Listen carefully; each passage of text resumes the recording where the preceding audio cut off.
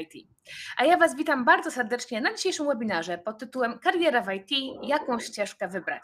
Nasze dzisiejsze spotkanie jest właśnie e, takim spotkaniem po to, żebyście mogli posłuchać o tym, e, jakie są ścieżki w IT, e, jakie są możliwości, jakie, jakie, jeżeli macie jakieś predyspozycje, to jakie wykorzystać, jakie tutaj wdrożyć w życie i właśnie pójść w tym kierunku IT. No i jest też oczywiście po to, żebyście mogli właśnie zadawać pytania dzisiaj o sobie, która na co dzień właśnie doradza innym w tym, w tym przebranżowieniu, w tej, w tej drodze, jaką jest przebranżowienie, e, wspiera tych e, naszych później już absolwentów kursów.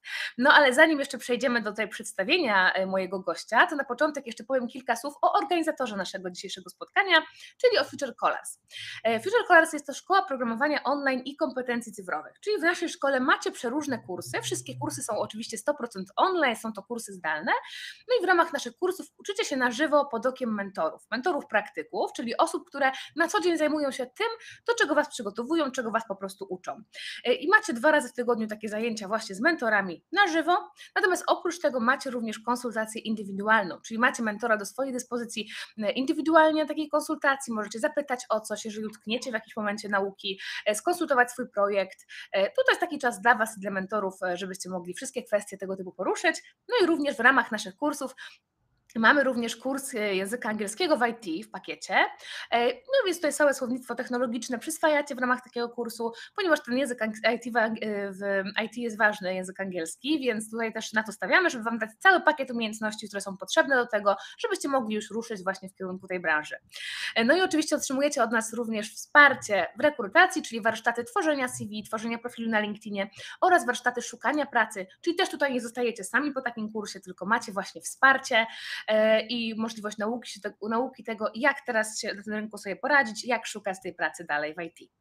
A moim gościem jest dzisiaj Marcin Konarski. I Marcin jest doradcą kariery właśnie w Future Colors, no i każdego dnia pomaga ludziom podjąć taką decyzję o przebranżowieniu się, no i doradza im, w którym kierunku najlepiej się w tym momencie przebranżowić. Marcin, czy mógłbyś się przedstawić dla tych, którzy Cię może nie znają, powiedzieć o sobie kilka słów? E, dzień dobry, e, nazywam się Marcin Konarski. E, jestem doradcą. Lubię sobie mówić, że jestem doradcą zawodów przyszłości. Trochę dlatego, że wszystkie są zawodami przyszłości. O niektórych mówimy, że są nowymi zawodami, więc staram się Wam pomóc w doborze ścieżki kariery. Mam bogate doświadczenie właśnie w tym obszarze, w obszarze doradztwa, konsultacji i wsparcia. Też jestem wyzna, wyznawcą takiej metody, która chyba w tej chwili jest charakterystyczna w ogóle dla całego IT, czyli obszaru long life learning, to znaczy, że uczymy się całe życie, dlatego cały czas staram się pogłębiać swoją wiedzę. Jestem z wykształcenia ekonomistą, absolwentem Szkoły Głównej Handlowej, ale również ukończyłem studia podyplomowe na, na warszawskim SWPS-ie na kierunku Digital Media, tak zwany Digital Campus, który właśnie spowodował, że zainteresowałem się nowymi technologiami. A ponieważ też jestem bardzo mocno zainteresowany kontaktami międzyludzkimi, pracą z ludźmi, jestem również e, junior e, Scrum Masterem dla osób, które troszkę już wiedzą więcej w IT, wiedzą czym jest Scrum. Więc myślę, że zarówno moje doświadczenie zawodowe, jak i obszar, którym się zajmuję, pozwala mi w pewnych obszarach Wam dosyć mocno pomóc, a przynajmniej wskazać kierunek, który po pogłębieniu będzie być może początkiem Waszej przyszłej drogi do IT. Więc to chyba tyle o mnie, bo ważniejsi jesteście Wy, Wasze pytania i rzeczy, o których mieliśmy dzisiaj porozmawiać. Super Marcin, bardzo Ci serdecznie dziękuję. Cieszę się też, że przyjąłeś zaproszenie, że dzisiaj z nami jesteś. Myślę, że dla wielu osób to może być taki właśnie e, taki kopniak, to dzisiejsze spotkanie, właśnie w tym kierunku, żeby taką motywację dostać, e, żeby właśnie e, w tym kierunku IT ruszyć i rozeznać się w tym, jakie w ogóle są kierunki, bo to też dzisiaj będziemy poruszać, prawda? Bo myślę, że ta branża IT tak się dla wielu kojarzy jako taka branża nieosiągalna, coś, w co no nie ma szans, ja się nie nadaję. Często takie pytania sobie ludzie zadają, prawda? Więc fajnie, żeby to dzisiaj przybliżyć, właśnie pokazać, że są fajne kierunki, nie zawsze programistyczne, e, w których można, e, w których można pójść właśnie w tym kierunku IT. No ale może zacznijmy od początku. Tutaj przedstawiłam też agendę na, na, na naszym slajdzie, jak to mniej więcej wygląda, jakie pytania dzisiaj będziemy zadawali. Natomiast zacznijmy może od tego, kto w ogóle może próbować swoich sił w świecie technologii. Każdy. To jest e, być może słowo wytrych, ale tak naprawdę każdy może próbować swoich sił technologii, a myślę nawet, że każdy powinien. Dlatego, że rozwój technologii powoduje, że nawet w zawodach, które nie są powiązane stricte z IT, umiejętność posługiwania się kompetencjami technicznymi, technologicznymi będzie powodowała, że jeżeli ich nie będziemy mieli, po prostu nie będziemy mogli wykonywać swojej pracy. W związku z tym to nie tylko IT jest skazane na świat technologii, ale e, pominęły już czasy, kiedy sekretarka tylko i wyłącznie parzyła kawę i podawała dokumenty. Dzisiaj musisz znać bardzo wiele narzędzi technologicznych, organizować wirtualny kalendarz, czasami organizować takie meetingi jak nasze. W związku z tym zobaczcie, wydaje się to takie jakby dziwne, ale tak jest, że ta technologia jest tak mocno otaczająca, że bez tej technologii my sobie po prostu nie poradzimy na rynku pracy, niezależnie od tego, czy myślimy o IT, czy nie. A ponieważ IT jest obszarem niewiarygodnie szerokim i często zapominamy o tym, że IT jest w bankowości, w ubezpieczeniach, w bardzo wielu obszarach. W związku z tym tam też są działy IT i tam też te kompetencje się mogą przydać.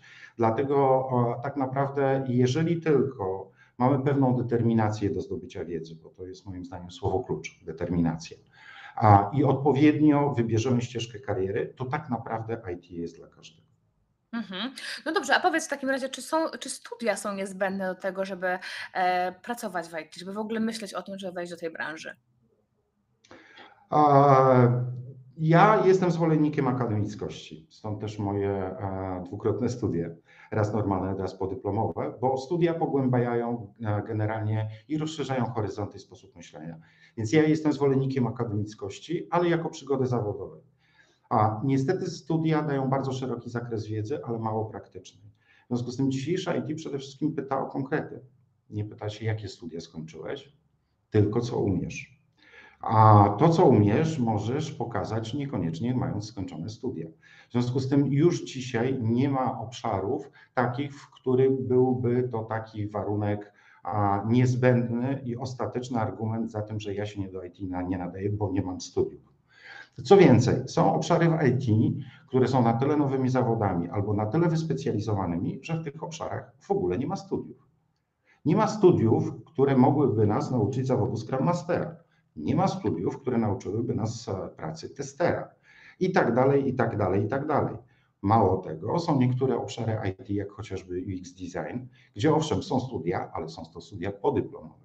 Ponieważ jest to na tyle fajny zawód, ale też na tyle rozległy, który wymaga od nas pewnego szerszego oglądu świata.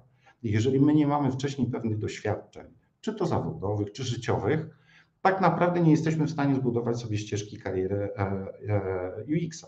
W związku z tym tak, UX, no tak, e, IT jest również dla osób, które nie ukończyły studiów technologicznych, ponieważ w niektórych obszarach wręcz nie ma takiej możliwości, żeby tego się nauczyć na studiach.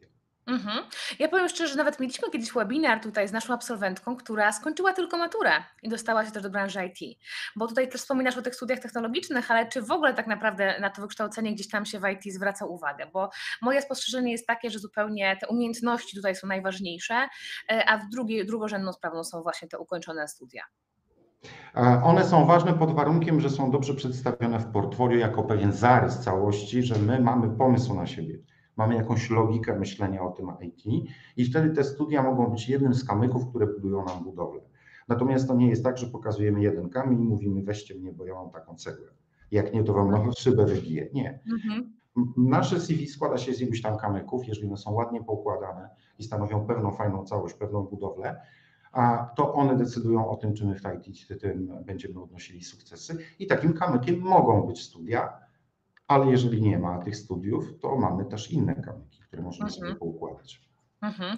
No właśnie, no minus studiów jest taki, że one troszkę trwają, prawda? Więc to jest też ten fakt, że trzeba e, e, ileś czasu poświęcić, zanim je ukończymy.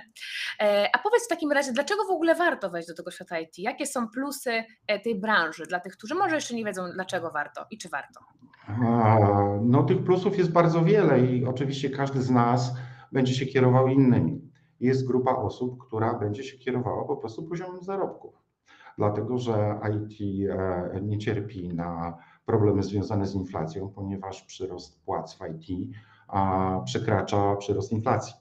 A w związku z tym dla wielu osób będzie to możliwość po prostu godnego zarabiania i przejście do obszarów, w którym te zarobki są wyższe niż w jego dotychczasowej branży ale e, też dlatego, że e, tam jest bardzo wiele fascynujących obszarów, które pozwalają nam się po prostu realizować. Więc jeżeli ktoś myśli o pracy, która będzie zaspokojeniem jego ambicji, to takim obszarem jest IT, więc to jest kolejny przykład i powód, dla którego warto myśleć o pracy w IT. Oczywiście dla bardzo wielu osób e, takim ogromnym obszarem będzie to, że w ogromnej większości praca w IT jest pracą zdalną, która umożliwia zupełnie inny komfort pracy i zupełnie inne podejście do tego. Dlaczego warto? Dlatego, że w IT po prostu ludzi brakuje. Jest ogromna a, a, a, dziura. W tej chwili mówi się o już nawet gdzieś tam, czytałem ostatnie raporty, w których mówiono wręcz o 63 tysiącach pracowników brakujących. Takie potwierdzone twarde to jest 50 tysięcy, więc może na tym e, bazujmy. I proszę zobaczyć, to jest e,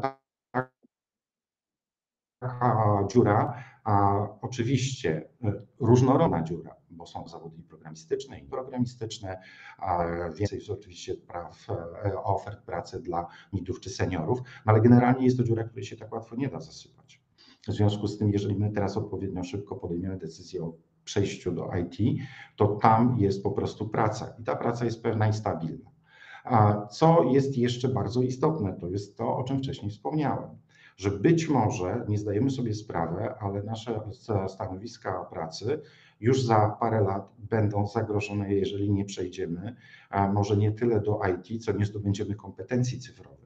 Więc warto już teraz zadbać o te kompetencje cyfrowe, nawet jeżeli dla nas na razie nie będą tylko taką formą klasycznego reskillingu, czyli przebranżowienia, a upskillingu, czyli podniesienia naszych kompetencji do wyższego poziomu, który być może pozwoli nam mm, po prostu przebić ten szklany sufit, które dotychczasowe nasze e, umiejętności i kompetencje gdzieś nam ograniczają, a zdobywając kompetencje cyfrowe, kompetencje z obszaru IT, możemy ten e, e,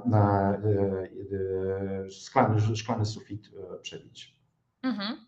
No właśnie, czyli warto. Czyli podsumowując, z tego co powiedziałaś, wynika, że warto tą branżą się zainteresować i zrobić ten pierwszy krok. No ale jakie mamy ścieżki? Powiedzmy o tych ścieżkach, jakie są możliwości, w jakie ścieżki możemy pójść, jeżeli mamy jakieś konkretne kompetencje. No i później powiemy jeszcze, co dalej. Jak już wiemy, jaką ścieżkę, to co potem trzeba zrobić, e, żeby tą, osiągnąć tą, tą właśnie, wejść do tej branży, lub jeżeli nie wiemy, co zrobić, no to jak, e, jak się rozeznać. Ale najpierw przejdźmy przez te ścieżki, jakbyś mógł powiedzieć właśnie, jakie mamy możliwości, jakie ścieżki kariery w IT. To znaczy, e, najprostszy podział, jaki możemy zastosować, i myślę, że on jest absolutnie kluczowy na samym początku, to jest to, że mamy ścieżki programistyczne i nieprogramistyczne. A dlatego, że dzisiaj IT jest tak szerokie, że zawodów jest bardzo wiele.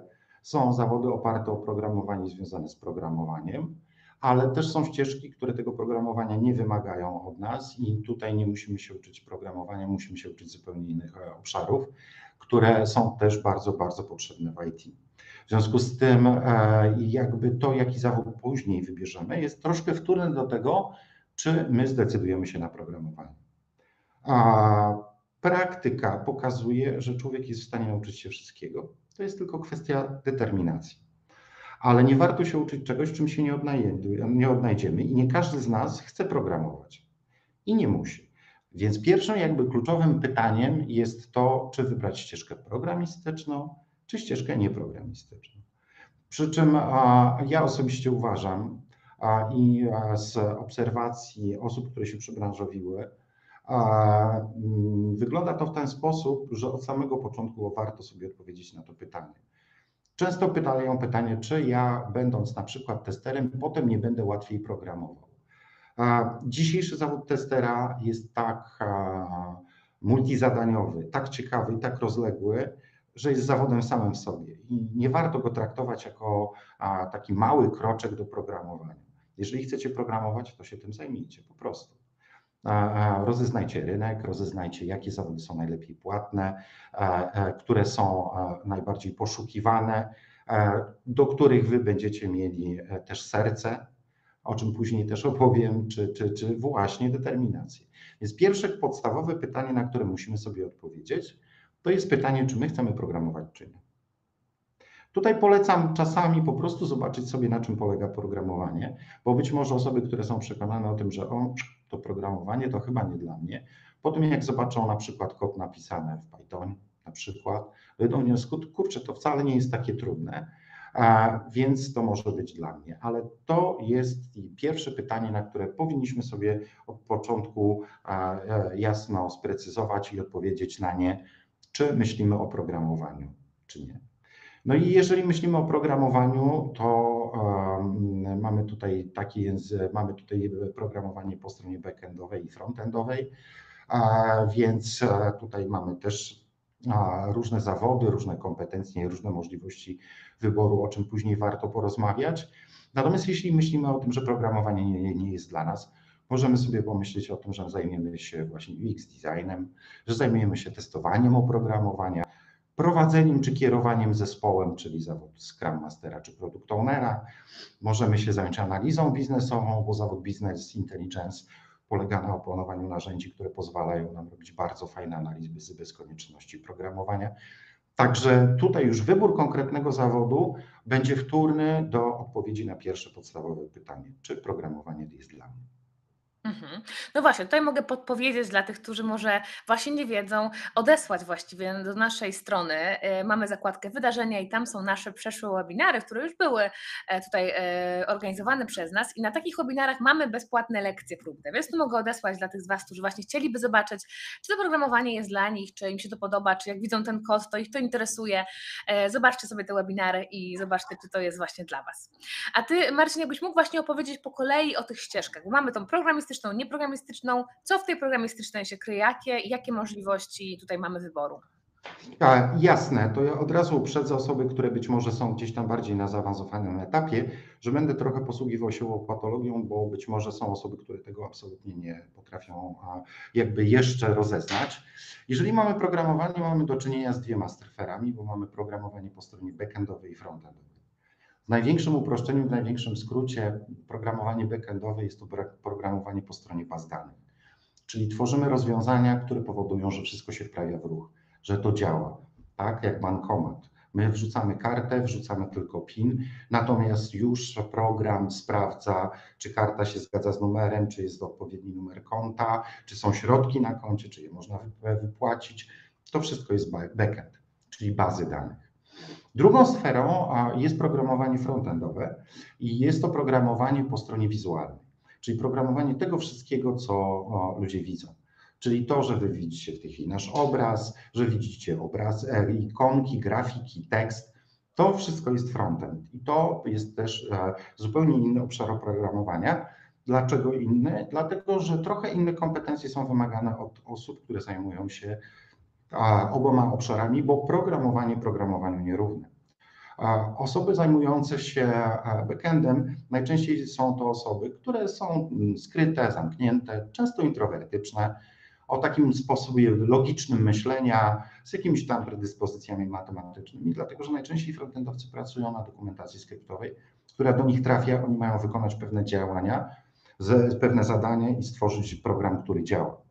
Natomiast w wypadku frontendu, to jest dobra wiadomość dla humanistów, my musimy troszkę empatyzować z tym, który na to będzie patrzył.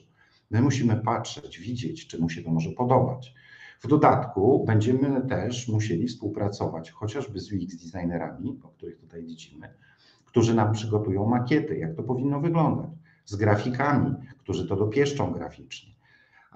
Ale również czasami będziemy musieli porozmawiać z klientem, który u nas coś zamawia, czy z innymi działami w firmie, czy to marketing, czy to zarząd, czy to sprzedaż, które też mają oczekiwania, żeby coś było widać, żeby coś było wytłuszczone, podkreślone.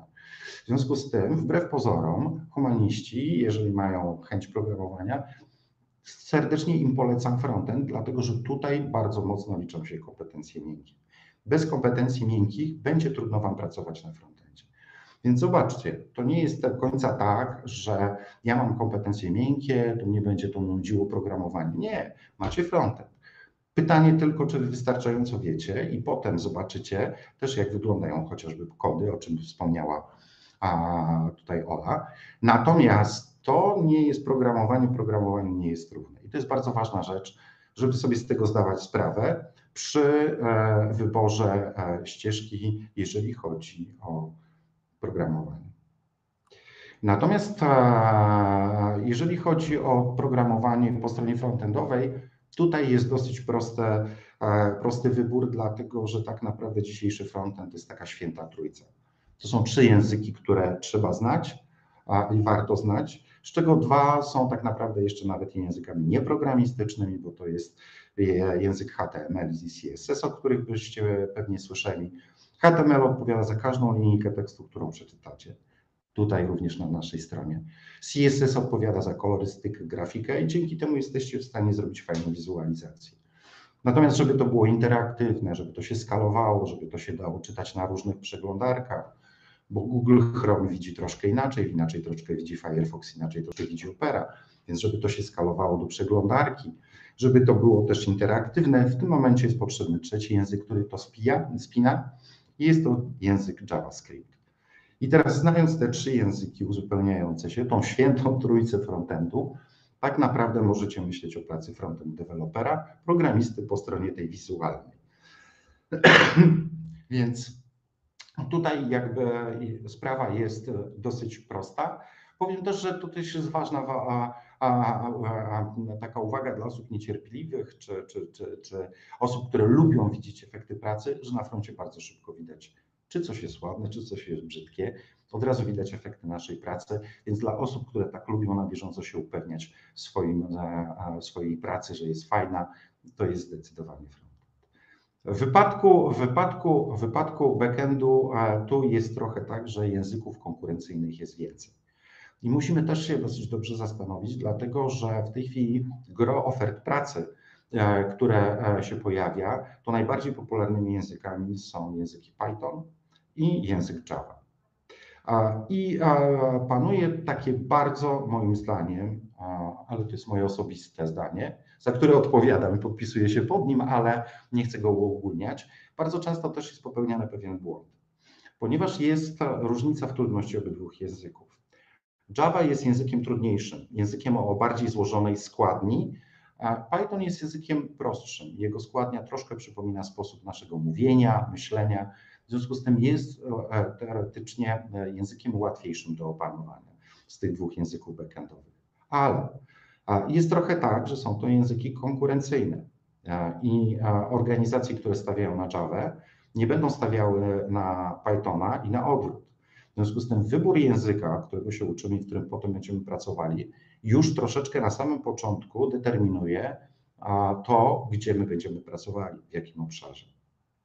Bo dla przykładu Java, ponieważ jest językiem również e, historycznie dosyć leciwym, aczkolwiek cały czas bardzo aktualnym, bardzo nowoczesnym, bo jest cały czas uaktualniana. To powstała w momencie, kiedy też zaczynała się cyfryzacja. Dlatego też na tą Java postawiły takie organizacje jak banki, telekomy, towarzystwa ubezpieczeniowe, duże, duże organizacje, które w dzisiejszym momencie mają już bardzo dużo rozwiązań w Java i z ich punktu widzenia nie ma sensu przechodzenia na Python, po prostu dlatego, że no, jest za dużo rzeczy do przepisania na inny język, żeby z tej Java rezygnować. W związku z tym one cały czas dalej stawiają na Java. W związku z tym, jeżeli podejmiemy się nauki Java, czy trudniejszej, no to mamy świadomość tego, że prawdopodobnie będziemy poszukiwani właśnie w obszarach takich sektorów jak bankowość i telekomunikacje. Natomiast Python, który jest językiem prostszym, jego prostota skutkuje tym, że też jest językiem trochę szybszym. W związku z tym najczęściej e, specjalistów z Pythonem poszukują firmy młode, dynamiczne, startupy, e, które e, liczą na szybki efekt programowania. W związku z tym one bardziej chętnie będą szukały, szukały specjalistów do spraw Pythona, czyli Python deweloperów. Tak, na przykład też często software house, no bo one są od tego, żeby dla kogoś zrobić oprogramowanie, dla klienta zewnętrznego, który nie ma własnych zasobów. No a im szybciej napiszą ten program, im będzie szybciej działał, to go szybciej spieniężą, skeszują i będą mogli szybciej zabrać pieniądze, więc lepiej to zrobić e, w Pythonie.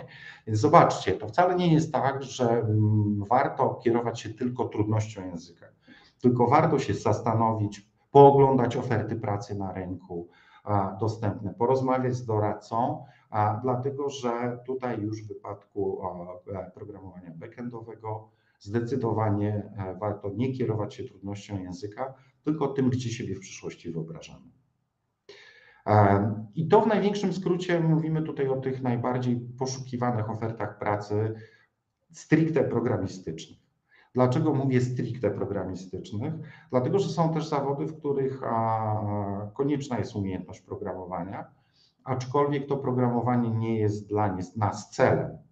My nie tworzymy o nowego oprogramowania, tylko programowanie jest narzędziem do wykonania pewnych konkretnych czynności.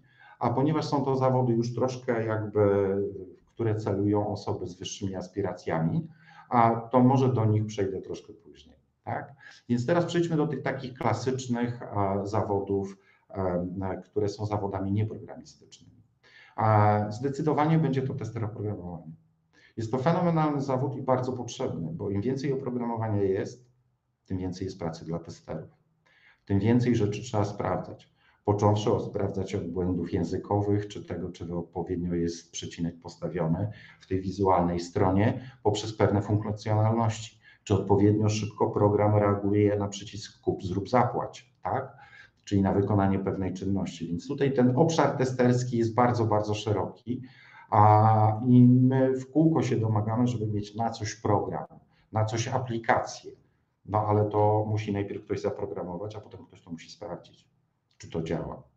Nie mówiąc już o tym, że dzisiejszy świat powoduje, że owszem, zrobiliśmy na przykład jakieś rozwiązanie i udostępniliśmy je na poziomie nie oprogramowania wgranego w komputer, tylko na poziomie na przykład przeglądarki internetowej czy na e, aplikacji telefonicznej. I teraz wystarczy, że pojawi się nowa wersja przeglądarki albo pojawi się nowa wersja Androida w telefonie. Już program, który do tej pory funkcjonował ok, może zaczynać działać wolniej. I to też trzeba sprawdzić, trzeba testować. Więc zobaczcie, że nie tylko zwiększa się ilość programów, ale i zwiększa się ilość obszarów, które trzeba sprawdzić, przetestować. Jest to naprawdę bardzo fajna, bardzo fajna praca i bardzo, bardzo bardzo, bardzo rozwojowa, więc to jest bardzo dobra wiadomość dla osób, które są dokładne, skrupulatne, cierpliwe, dociekliwe. Jeżeli się zastanawiacie, dlaczego coś działa tak, nie inaczej, albo dlaczego mi nie działa, no to prawdopodobnie macie świetne kompetencje, żeby zostać e, docelowo testerem oprogramowania, jeżeli programować nie chcecie. A, tak, w związku z tym zobaczcie, to jest bardzo, bardzo ze sobą po, powiązane, bo całe IT to jest zespół na, pewnych naczyń a, e, a, e, połączonych i one są bardzo, bardzo, bardzo istotne. teraz e, te zespoły muszą pracować w jakiejś określonej formie, w jakiejś metodzie, która jest ustrukturyzowana. I taką metodyką jest metodyka skramowa, która pozwala pracować zwinnie, pracować zgodnie z duchem Agile'u, o którym na pewno słyszeliście, czyli takiego manifestu nowoczesnej, zwinnej pracy zdalnej. I ktoś musi to robić. I to jest dobra wiadomość dla osób, którzy są związane z nie psychologią, socjologią, psychologią, tak, z coachingiem być może, z edukacją, na przykład nauczycielami, że są osobami, które pomagają w zorganizowaniu pracy, żeby ona była sprawna, efektywna i szybka.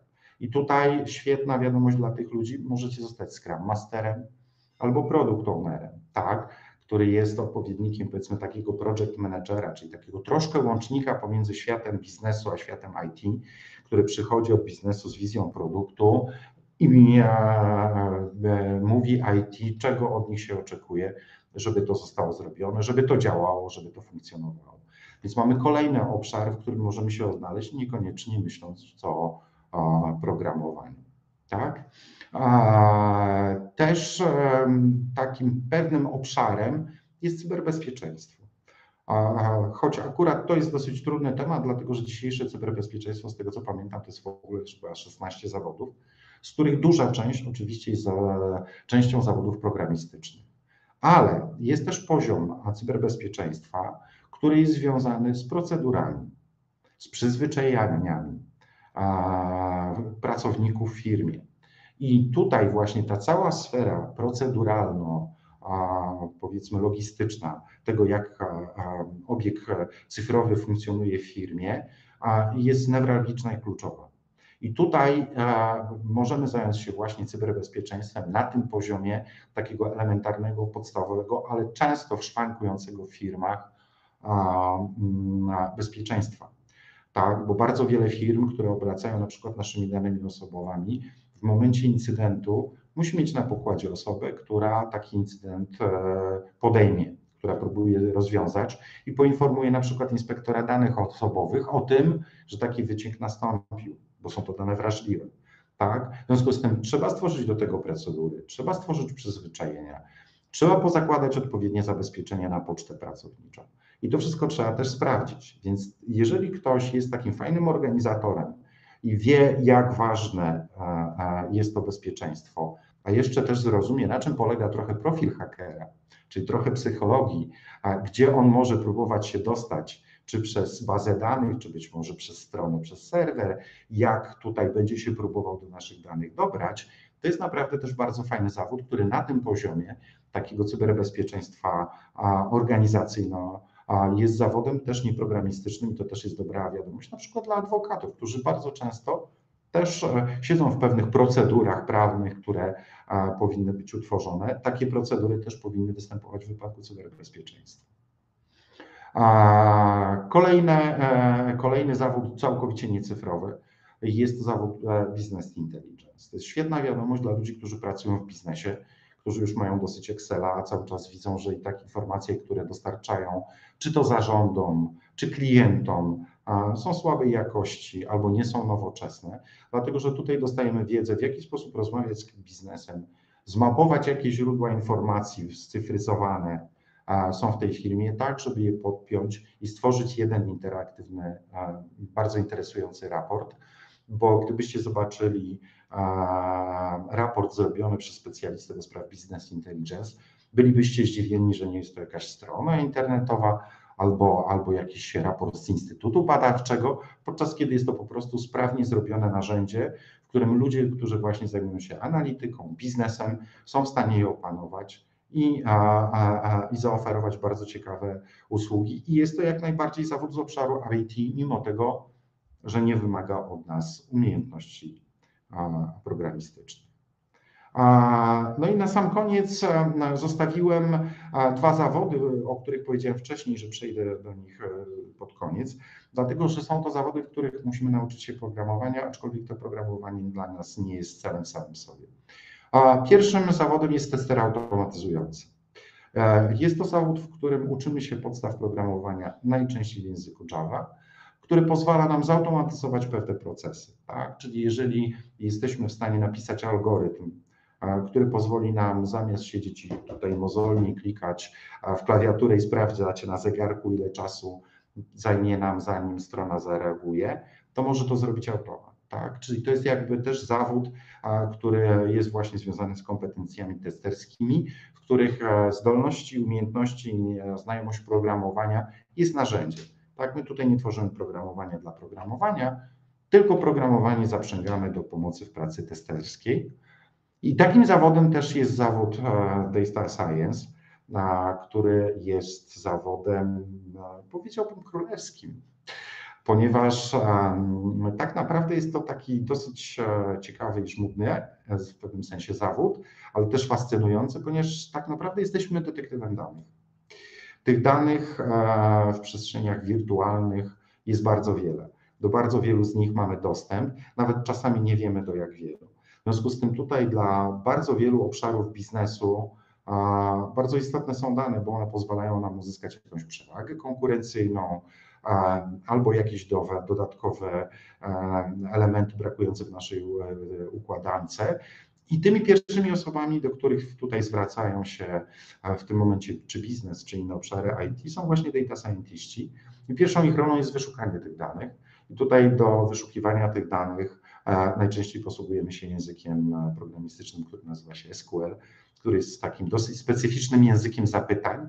Natomiast nie interpretowanym przez innych, dlatego tutaj musimy jeszcze nauczyć się podstaw Pythona, który pozwoli nam na tą pracę z danymi, tak żeby one właśnie stanowiły tę wartość dodaną. A dlaczego mówię, że to jest zawód królewski? No dlatego, że to jest zawód, który w tej chwili bardzo jest przychylnie obserwowany i patrzony takim dosyć przychylnym okiem przez dwa naj, chyba najbardziej rozwijające się obszary, czyli sztuczną inteligencję i nauczanie maszynowe. Dlatego, że dzisiaj to właśnie data scientiści dostarczają dodatkowych danych, czy to sztucznej inteligencji, czy nauczaniu maszynowemu, dzięki którym one się mogą szybciej rozwijać. Bo to, że one gromadzą swoje dane, interpretują, uczą się, pracują, jest super, ale one są pazerne dla. Im więcej tych danych mają, tym się szybciej i lepiej rozwijają. W związku z tym to właśnie data scientiści są osobami, do których sztuczna inteligencja czy nauczanie maszynowe zwraca się z pytaniem o wyszukanie i możliwości dodatkowych danych. Więc jest to w tym znaczeniu królewski zawód a, i zawód, tak jak powiedziałem, nieprogramistyczny, ale musimy opanować umiejętność programowania, ponieważ ona będzie naszym podstawowym narzędziem do pracy zdalnej. Okej, okay, czyli tych ścieżek naprawdę troszeczkę, trochę jest, a to i takie są wszystkie ścieżki, to są takie, prawda, tak jak podzieliłeś, to jest to, co tutaj my mamy do zaoferowania. Natomiast podsumujmy, czyli w takim razie dla osób, które są takim bardziej ścisłym umysłem, gdzieś mają takie matematyczne zdolności, które kierunki będą odpowiednie?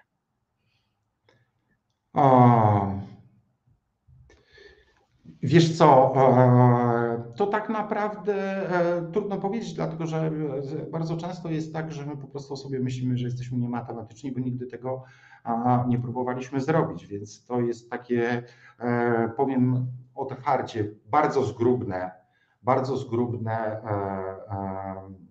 uproszczenie, ale zdecydowanie języki programistyczne wymagają właśnie takich zdolności matematycznych, czyli czy to będzie frontend, czy backend, a więc Python, czy Java. Zdecydowanie data science będzie tutaj istotny. To tutaj te zdolności Przyda się też troszkę w, w business intelligence, bo tam nie programujemy, ale pewna matematyczność, tak, pewna analityka będzie, będzie, nam, będzie nam zdecydowanie przydatna. Natomiast zdecydowanie dla humanistów to zdecydowanie będą zawody typu UX designer, czyli twórca rozwiązań na poziomie jej użyteczności dla, dla, dla finalnego odbiorcy tester oprogramowania, Scrum Master, Product Owner, to, to mogą być obszary, w których osoby, e, które czują się humanistami, lepiej się no właśnie, dobrze, że powiedziałeś, to czują się e, humanistami, prawda? Bo rzeczywiście ja też widzę po naszych absolwentach, że faktycznie to, czy ktoś skończył studia humanistyczne, czy takie właśnie bardziej ścisłe, to w sumie później już nie ma znaczenia, odnajdują swoje ścieżki w każdej z tych e, dziedzin, prawda? I programistycznej, i nieprogramistycznej, więc taki to jest rzeczywiście podział może, e, no taki gdzieś tam utarty z, z naszej edukacji takiej standardowej, prawda? Ze szkoły, gdzieś humaniści i ci matematyczni bardziej. E, no dobrze, czyli w takim razie wiemy, jakie są ścieżki i co teraz mamy dalej zrobić? Jak mamy się rozeznać, którą ścieżkę e, powinienem, powinnam wybrać dla siebie? A, powiem tak, jeżeli chodzi o to, to, to co jest absolutnie kluczowe, to jakby e, wziąć sobie kartkę, długopis i rozrysować ścieżkę dojścia do podjęcia decyzji, bo ta decyzja jest jakby kluczowa. Tak? Pierwszą rzeczą to jest właśnie zastanowienie się nad pytaniem, czy chcę programować, czy nie. Drugim rozwiązaniem jest to, ażeby próbować zmapować sobie e, swoje kompetencje, żeby dokładnie zobaczyć, bo czasami nam się coś wydaje, test predyspozycji, których jest bardzo wiele, a szczególnie polecam nasz, o którym zaraz pewnie parę słów opowiem, e, pozwoli nam lepiej zmapować e, nasze kompetencje. I w tym momencie już zaczynamy mieć w pewnym sensie e, parę kroków w przód w podejmowaniu decyzji w naszej, e, w naszej analizie e, ścieżki kariery. Natomiast to, co jest bardzo istotne, to nie zapominajmy, że mm, my nie jesteśmy białą kartką, czystą kartką. Mamy doświadczenia zawodowe, mamy doświadczenia życiowe, mamy pewną edukację, a pewne rzeczy umiemy robić, mamy czasami pewną wiedzę branżową, która wbrew pozorom może się okazać bardzo istotna i bardzo przydatna dla IT w połączeniu z nowymi kompetencjami cyfrowymi, o czym już mówiłem na samym początku. Dlatego też warto się zastanowić, gdzie istnieją cechy wspólne, które pozwalają nam nasze dotychczasowe doświadczenia czy naszą dotychczasową wiedzę połączyć z nowymi kompetencjami. Dlatego, że w tym momencie krok po kroku zaczynamy przybliżać się do pewnej eliminacji. Tak? Najpierw odrzucamy na przykład nieprogramistyczne, tak? Bo chcemy programować. Potem odrzucamy te, które są dla introwertyków, bo jesteśmy ekstrawertykami, no to już jesteśmy bliżej frontu. Tak, ja kiedyś tam się zajmowałem fotografią, jakąś grafiką, no to super, no właśnie ten frontend, tak? W związku z tym to jest bardzo, bardzo istotne. I ja generalnie jestem zwolennikiem, żeby sprawdzać siebie. Sprawdzać siebie tak empirycznie na zasadzie robienia sobie różnych wyzwań czy testów, ale właśnie też sprawdzania testów. Oczywiście możecie sobie zrobić test Galupa, który jest bardzo popularny, zwłaszcza w środowiskach biznesowych. Natomiast jest to test płatny. Natomiast my przygotowaliśmy taki test kompetencji, który po odpowiedzi na 36 pytań pozwoli Wam, pod warunkiem, że będziecie je odpowiadali na nie szczerze i to zaraz powiem, zmapować Wasze kompetencje w czterech obszarach. Te obszary zostaną nazwane, dostaniecie informację o tym, jak procentowo wygląda rozkład Waszych kompetencji w poszczególnych obszarach. A my to nazywamy talentami, i jednocześnie będzie podpowiedź, jakie te talenty są ważne dla konkretnego obszaru w IT. Więc serdecznie Wam polecam. Natomiast dlaczego powiedziałem, że warto do tego podejść e, z czystą głową? Jest trochę tak, że my wypełniając pewien test, czasami robimy go z pewną intencją. My coś zakładamy. I bardzo często sami siebie, ale również potem wynik testu zakłamujemy. I on może się trochę różnić tylko dlatego, że my wypełniając ten test nie odpowiadamy intuicyjnie, nie odpowiadamy w zgodzie z samym sobą, tylko odpowiadamy, bo wiemy, że chcemy do czegoś dojść na końcu tego testu.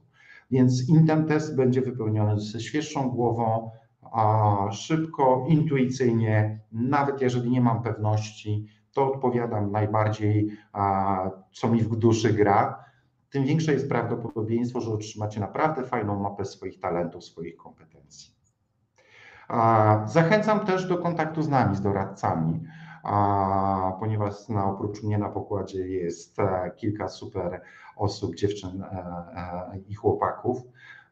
Mówię tak, tak kolokwialnie, bo no, no, lubimy się i znamy, więc gorąco polecam też kontakt z doradcą, bo mm, bardzo często diabeł tkwi w szczegółach. Gdzieś tam no, w takiej rozmowie, a jeżeli oczywiście zdecydujecie się opowiedzieć i odpowiedzieć szczerze i otworzyć troszkę na takiej rozmowie, czy o swoich oczekiwaniach, czy o swoich doświadczeniach zawodowych, jesteśmy w stanie Wam pomóc e, wybrać taki kierunek e, czy, czy e, pomysł, pomysł na siebie.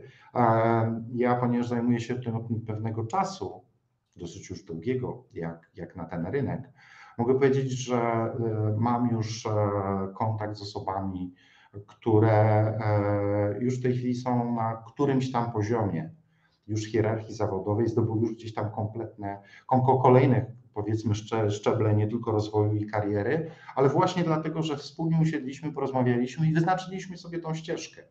Oni dobrze ją rozpoznali, przekonali się, że to jest dla nich, ale też wiedzieli, co może być na kolejnym etapie że to samo wejście do IT to nie jest koniec, że możemy pomyśleć o tym.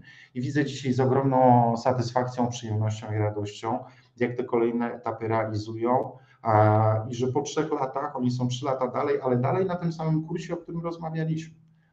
Że to się niewiele zmieniło, że to po prostu zostało dobrze zrobione, więc gorąco zachęcam do wypełnienia testu kompetencji i kontaktu z doradcami. Jeżeli macie taką wolę, wystarczy w teście zaznaczyć wtedy na pewno któraś z koleżanek lub kolegów do Was zadzwonią, umówią się po to, żeby sobie spokojnie porozmawiać i próbować pomóc Wam podjąć decyzję. No właśnie, ja tutaj na czacie wrzuciłam link do tego testu, więc jeżeli ktoś ma z Was ochotę, to zapraszamy do tego, żeby ten test wypełnić. Test, tak jak powiedziałeś, jest darmowy, więc tutaj e, możecie sobie spokojnie go wypełnić. E, I też powiedzmy to, też bo często o to pytacie, e, taka rozmowa z doradcą kariery również jest bezpłatna u nas, także śmiało możecie zostawić do siebie kontakt u nas na stronie, e, oddzwoni do Was doradca kariery, taki właśnie jak e, Marcin, którego dzisiaj macie szansę poznać e, i porozmawiać z Wami właśnie na temat tego, no w którym kierunku kierunku tą waszą karierą pokierować, jakie opcje macie, jakie możliwości. Troszeczkę was tutaj nakieruje, opowie o poszczególnych zawodach, no i doradzi w, tej, w tym wyborze ścieżki. Marcin, czyli powiedzmy tak, test jest bezpłatny, ale jak on wygląda? Jakbyś mógł powiedzieć właśnie, co w tym teście spotkamy, jak to wszystko będzie wyglądało? To jest klasyczny e, test e, kompetencji, test psychologiczny, w którym mm, będziemy musieli odpowiadać na pytania, które raczej starają się poznać nasze preferencje i oczekiwania. Nie ma tam testów matematycznych czy logicznych, więc jest to, tak jak powiedziałem, troszkę podobne do testu Galupa. Jeżeli ktoś miał do czynienia z tym testem, to wie. Także jest to test przygotowany dla nas przez specjalistę, która specjalizuje się od wielu lat w mapowaniu kompetencji osób w różnych korporacjach, w różnych firmach, w pomocy rozwoju ścieżki kariery. Natomiast jest unikatowy, dlatego że ponieważ jako jedyny nie tylko pomaga nam zmapować nasze kompetencje, ale też od razu podpowiada nam, które, e, które obszary są e, w danym e, talencie związane z jakimś konkretnym zawodem. W związku z tym po wypełnieniu takiego testu otrzymacie na adres mailowy podany w formularzu zwrotną informację, której dostaniecie po pierwsze procentowy wynik w poszczególnych obszarach oraz cztery PDFy, które dokładnie opisują poszczególne talenty. No właśnie, bo to są cztery obszary osobowości, prawda? To jest ten tak. integrator skill i to są te obszary osobowości i w każdym z tych obszarów, bo test pokaże nam w ilu procentach, który obszar jest nam bliski, prawda? I w każdym z tym obszarze są poszczególne zawody w IT, więc test e, będzie mógł Wam pokazać po prostu, które zawody powinniście wziąć ewentualnie pod uwagę w największym stopniu, no i wtedy możemy zacząć research, prawda? Zobaczyć jakie, czy te zawody faktycznie nam się podobają, czy nam się podoba ten, e, to co ta osoba będzie robiła w przyszłości e, i tutaj też znowu Was odsyłam oczywiście do naszej zakładki wydarzenia, bo tam są te nasze lekcje próbne e, i można sobie właśnie zajrzeć, zobaczyć, czy, czy to jest dla Was, czy Wam się po prostu to podoba. E, no i co dalej? To ja, mhm. to ja, to ja jeszcze dopowiem jedną rzecz, bo to może być istotne. W zakładce wydarzenia mamy zarówno wydarzenia przyszłe, jak i przeszłe. W związku z tym, jeżeli chcecie sobie, już nie macie czasu, żeby w określonym czasie i określonej godzinie pojawić się na webinarze, wiele wiedzy tam po prostu jest, wystarczy jej poszukać. Natomiast mimo wszystko za, zachęcam do uczestnictwa w mm, tych webinarach, które dopiero będą, dlatego że jak widzicie, my staramy się być bardzo komunikatywni i to nas też troszkę wyróżnia, że my zawsze, na, niezależnie od tego, czego dotyczy e, webinar, mamy aktywne okno czatu. Związku z tym zawsze można zadawać pytania. My nie boimy się konfrontować z Waszymi pytaniami, jakie one by nie były, odpowiadać na nie, więc jeżeli Was coś jeszcze nurtuje, na przykład w zawodzie, nie wiem, tutaj padał UX, e, to na webinarze UX będziecie mogli takie pytanie zadać. W związku z tym bardzo też polecam, żeby patrzeć tak na przyszłe wydarzenia, które dopiero będą, na które zapraszam w imieniu tutaj Oli i reszty zespołu Future Colors, jak i przeszłe, na których też sporo ciekawej wiedzy, również mentoringowej, bo na początku tego roku też robiliśmy sporo a, mm, a, takich webinarów, które mówiły po prostu o tym, jak się podjąć e, nauki, kiedy wydaje nam się, że już jesteśmy w pewnym wieku, że nauka nam przychodzi trudno, że może to nie dla mnie. Więc takich fajnych, myślę, e, trochę coachingowych, ale przede wszystkim praktycznych webinarów też znajdziecie, więc zapraszam na naszą stronę, na, na, na tę zakładkę.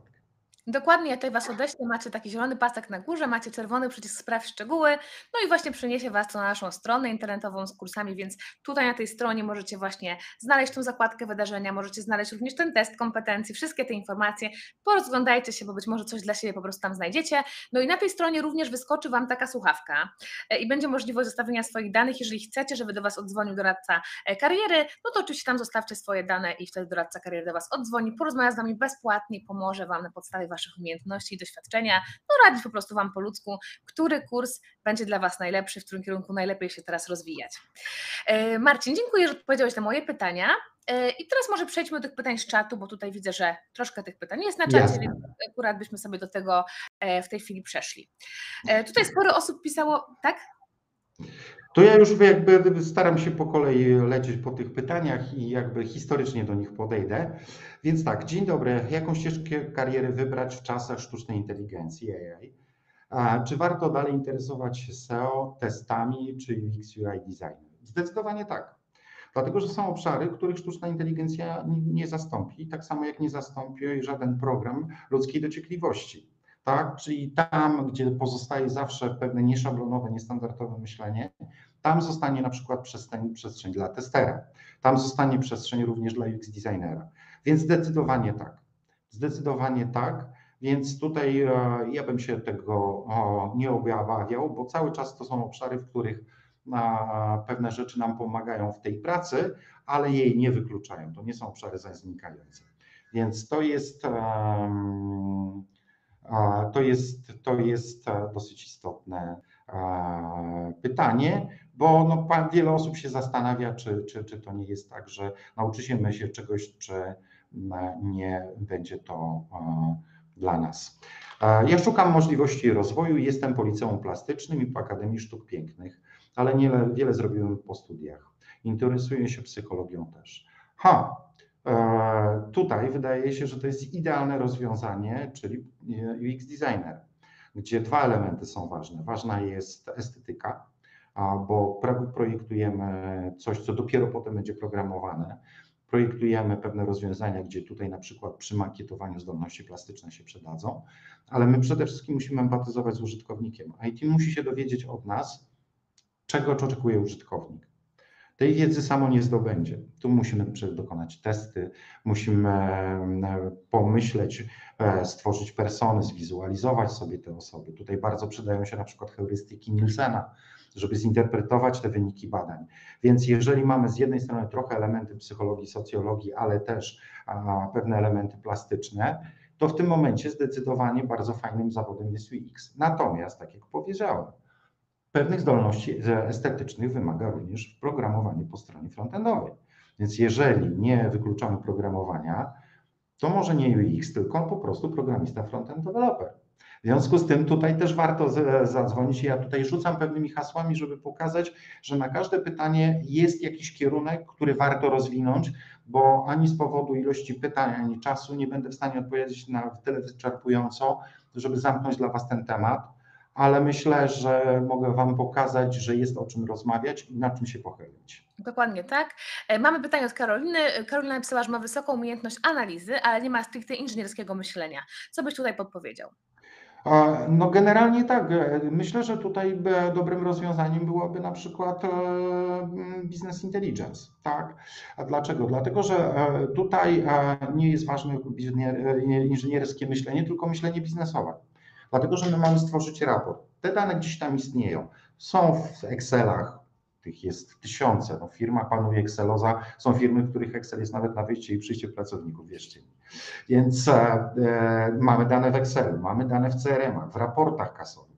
Te wszystkie dane odpowiednio spięte w jednym narzędziu, odpowiednio zwizualizowane, więc tutaj też to jest element estetyczno-graficzny, stanowią wartość taką, że zarząd sobie przychodzi i widzi na bieżąco, co się dzieje z firmą czy z jej otoczeniem.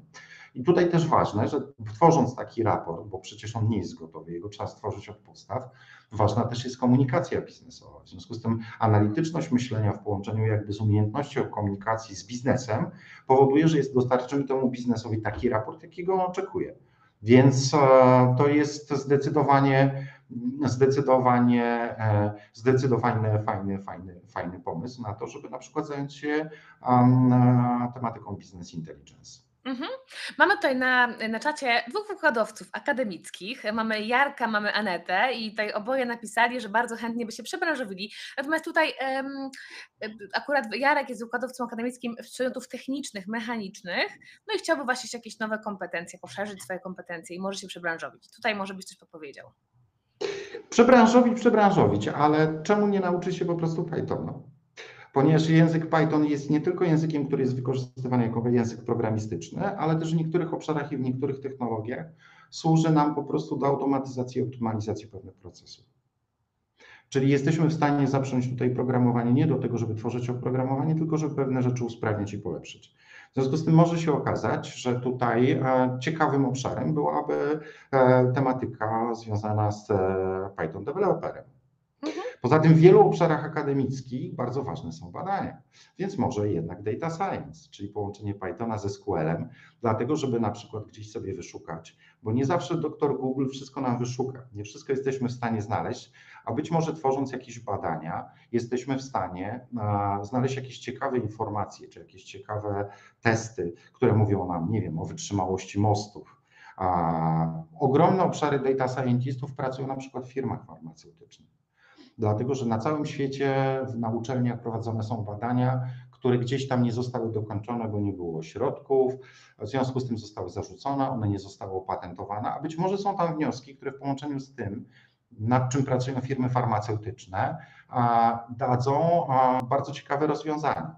Więc wszędzie tam, gdzie e, informacja jest istotna, ten data science bardzo ciekawy, więc czemu na przykład właśnie nie data science, gdzie też jest troszkę Pythona, ale aczkolwiek innego, bo on jest bardziej taki narzędziowy niż, e, niż programistyczny, więc czemu na przykład właśnie nie data science? Mhm. Tutaj Aneta napisała troszeczkę za mało informacji, więc Anetę tutaj odsyłamy do kontaktu bezpośredniego z Tobą, może tutaj na, poprzez stronę, to będzie łatwiej na pewno podpowiedzieć coś. E, Sylwia napisała, że jest na początku swojej drogi do przebranżowienia się. Po nastu latach jako specjalista do spraw funduszy Unii Europejskiej postanowiła zmienić swoją ścieżkę zawodową, wybrałaby Scrum Mastera. No i właśnie ma nadzieję, że się uda e, przebranżowić. Czy tutaj ten Scrum Master, to myślisz, że to jest dobry kierunek właśnie w, w tym wypadku? Powiem tak, e, tutaj musielibyśmy też porozmawiać i zastanowić, dlatego że tutaj w obszarze Scrama są dwa zawody, Scrum Master i Product Owner. I choć wiedza, którą musimy posiąść, pokrywa się w 80%, a to te 20% jest różne, a różnica wynika przede wszystkim z różnicy roli, jaką pełnimy w zespole. I tutaj, no niestety trzeba porozmawiać, dlatego że tu już żaden test nie pomoże. Dlatego, że Scrum Master jest bardziej takim ogarniaczem, takim wewnętrznym coachem. Osobą, która bardzo mądrze i dużo pyta. Dlatego, że te pytania pomagają podjąć decyzję, zastanowić się nad pewnymi rzeczami. Natomiast jeżeli my chcemy być osobą bardziej decyzyjną, bo podejmować decyzje o charakterze biznesowym, a jeżeli chcemy być takim troszkę wizjonerem, który przychodzi do zespołu z wizją produktu, no to w tym wypadku być może bardziej dla nas odpowiedni byłby product owner. Tak, więc jeżeli my tutaj, pani, nie widziałem, zajmowała się też funduszami europejskimi, Sylwia, tak, no to miała też kontakt powiedzmy troszkę z, z biznesem różnego typu. Tak. Więc może te umiejętności pracy z biznesem też przełożą się na to, że dla niej bardziej przydatny byłby być może produktowy. W związku, mhm. z tym, w związku z tym, tutaj tak, tak jak mówię, troszkę za mało tej wiedzy mamy, ale Scrum Master to nie jest jedyne rozwiązanie i nie jedyne wyjście, więc tutaj w razie czego też zapraszam do kontaktu. Super. Monika pyta, czy trzeba być programistą, e, znać choć podstawy programowania, by szkolić się u nas e, na kursie Cyber Security? Nie. Tak jak powiedziałem, kurs Cyber Security, znaczy, zacznę od czegoś innego. Niczego nie trzeba umieć, my Was wszystkiego nauczymy. To oczywiście jest takie duże uproszczenie. My zakładamy, że niezależnie od tego, czy chcecie się uczyć zawodów nieprogramistycznych czy programistycznych, Wy tego po prostu nie umiecie. Wy musicie po prostu wiedzieć, czego chcecie i dobrze zmapować, i my staramy się w tym Wam pomóc. Natomiast naszą rolą, ambicją i misją jest nauczenie Was tego. W związku z tym również na, na e, kursach programistycznych tego programowania nie musicie umieć, my Was tego nauczymy. Natomiast w wypadku cyber security, to co już opowiadałem, my skupiamy się na metodyce, na profilu psychologicznym hakera, na procedurach, na tym, żeby powiem tak zupełnie może obrazowo, że e, jak pan Krzysiu, którego pani Hania lubi w sekretariacie, przyjdzie z pendrive'em i go da, to żeby pani Hania go jednak nie wkładała, bo nie wiadomo, co na tym pendrive'ie jest, tak? A tu też jest cyberbezpieczeństwo, tak? W związku z tym taki obszar, który zapewnia nam uszczelnienie bezpieczeństwa cyfrowego firmy jest przedmiotem naszego. Tak, i to też ja może dopowiem, to są tak jakby takie podstawy cyberbezpieczeństwa, z których jest takim punktem, są takim punktem wyjścia do tego, żeby później wybrać jakąś konkretną y, ścieżkę już bardziej w cyberbezpieczeństwo, bo tych ścieżek po cyberbezpieczeństwie jest bardzo dużo, więc potem już w zależności od tego, w którym kierunku byś poszła, więc y, to, to są takie jakby podwaliny pod to wszystko. Ja, tak, ja wcześniej też mówiłem, że w cyberbezpieczeństwie takich subspecjalizacji jest ponad 16. Tak. E, nie, nie, nie wolno ukrywać, że niektóre z nich wymagają sporych kompetencji e, programistycznych, ale tych poziomów jest bardzo wiele, a cały czas brakuje ludzi, którzy potrafią to po prostu poukładać procesowo, intelektualnie i proceduralnie. Dokładnie, i poruszyłeś tak ważny wątek tego, że e, byśmy to jeszcze sprostowali. Wszystkie nasze kursy są kursami od zera, prawda? Tutaj zaczynamy od, e, nie musimy umieć żadnych, mieć żadnych umiejętności jeszcze, krok po kroku uczymy się wszystkiego, żeby w ogóle zostać, e, żeby pełnić taką rolę, na jaki kurs przyszliśmy, taki zawód, jaki kurs wybraliśmy. Pytanie od Karoli. A jakie jest duże zapotrzebowanie na Scrum Masterów w tej chwili na rynku? powiem w ten sposób. Sama metodyka skramowa zakłada, że zespoły są małe i zwinne, maksymalnie dziewięcioosobowe.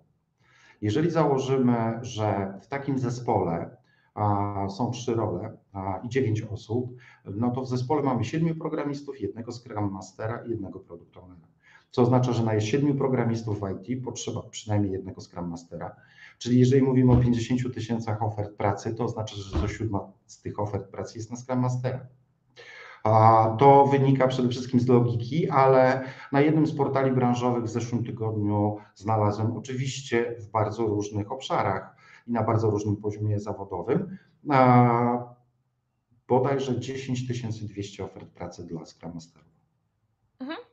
Czyli to potrzeba. Przy czym, przy czym e, to też jest bardzo ważna informacja, o czym mówimy Wam już podczas kursu, ale też rozmawiamy o tym, jak chcecie robić research przed podjęciem decyzji o kursu, że musimy bardzo uważnie czytać ogłoszenia o pracę. Dlatego, że bardzo często ogłoszenia o pracę są tworzone przez działy HR, które bardzo często nie mają kompletnej, e, takiej kompletnej wiedzy, kogo szukają. Dlatego zdarza się, że e, oferta pracy nam nic nie mówi, dopóki jej nie przeczytamy. Tutaj taki przykład. A bardzo często pojawiają się oferty pod tytułem IT poszukuje Agile Coacha. Hmm, no fajnie, tylko że Agile Coach to jest tak słowo wytrych. Tak, tak naprawdę no, nie ma takiego zawodu. Tak, Agile jest zbyt ogólny, żeby tutaj jeszcze być coachem w tym obszarze. Natomiast jak e, wejdziemy w szczegóły takiego ogłoszenia, to mamy napisane wyraźnie, że to jest Agile Coach, który pracuje w metodyce Scrumowej i pracuje na Jirze. Jira to jest takie jedno z narzędzi, które pracuje Scrum Master. Czyli de facto to HR-owcy szukają Scrum Mastera, tylko nie potrafią tego nazwać.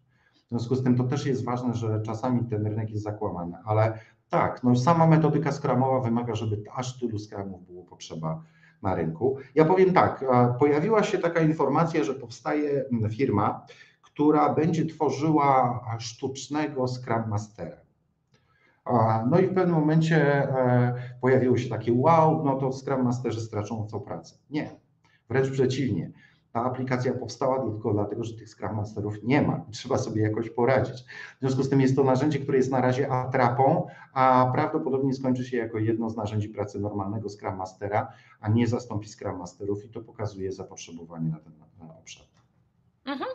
E, pytanie od Agnieszki, czy trzeba być wymiataczem w Excelu, żeby poradzić sobie w przebranżowieniu do Business Intelligence? Nie. Ale trzeba znać Nie. Excel, e, tak, to się przydaje, dlatego że, e, ale umówmy się, Excel jest jednym ze źródeł danych, które integrujemy w raporcie. W związku z tym dla nas Excel jest źródłem danych, my musimy wiedzieć, co tam jest. Nie musimy być wymiataczem na poziomie tabel przestawnych a dlatego, że my się uczymy całkiem innego narzędzia, dla którego Excel jest tylko źródłem importu danych. Tu są inne narzędzia bardziej przydatne, których się uczymy, jak chociażby DAX, czyli narzędzie, które pozwala nam czyścić dane, żeby powiedzmy dane, które wpadają być może z różnych działów, a są tymi samymi danymi, nie sprawiały wrażenia, że czegoś jest dwa razy więcej, tylko dlatego, że z dwóch działów nam wpadły. W związku z tym, żeby też tam średniki, przecinki e, nie powodowały zaburzenia. Natomiast, natomiast nie, nie trzeba być wymataczem. Mhm. Zresztą jeden z e, naszych webinarów, który też możecie sobie obejrzeć w zakładce Wydarzenia. zakładce wydarzenia przeszłe, minione i jest webinar, który się nazywał jak zrobić e, sexy raporty bez Excela, więc to się da. Dokładnie. E, Mamy pytanie od Anety, czy terminy kursów są ściśle określone, czy ruszają jakieś konkretne grupy w określonym momencie, czy też każdy robi kursy na zasadzie e-learningu we własnym tempie. To możemy powiedzieć, że są określone konkretne grupy, które ruszają w konkretnych terminach, a tutaj wyjątkiem jest ten kurs e, UX Flexi, prawda? Czyli taki kurs, który jest kursem nagranym i dodatkowo ma konsultację mentora. I ten kurs wtedy tutaj chyba też bardziej we własnym tempie się robi niż, e, niż inne kursy, prawda? Dobrze mówię? Tak. Tak.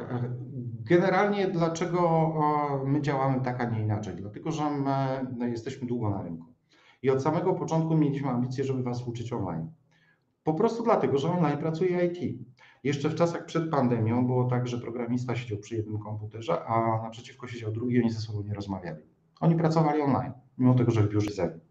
W związku z tym nauczenie się e, w trybie online od razu w trakcie kursu pozwala Wam uczyć się w takiej formie, w jakiej będziecie to celowo pracować. Wy po prostu pracujecie. Tak? W związku z tym my mamy ambicje nauczyć Was nie tylko teoretycznie, ale praktycznie. W związku z tym jest bardzo dużo zajęć praktycznych. Dlatego też nasze grupy, które startują, są grupami kameralnymi, bo maksymalnie 16 osoby grupowymi, tak, żeby tutaj grupa czuła się komfortowo, żeby był odpowiedni kontakt z mentorem. W związku z tym, a, dlatego dokładnie podajemy terminy, żebyście mogli też sobie rozplanować, bo też macie swoje plany życiowe. Czasami jest to, nie wiem, urodzenie dziecka i urlop macierzyński, w którym chcecie się skupić na przebranżowieniu, bo to jest fenomenalny moment dla wielu młodych mam.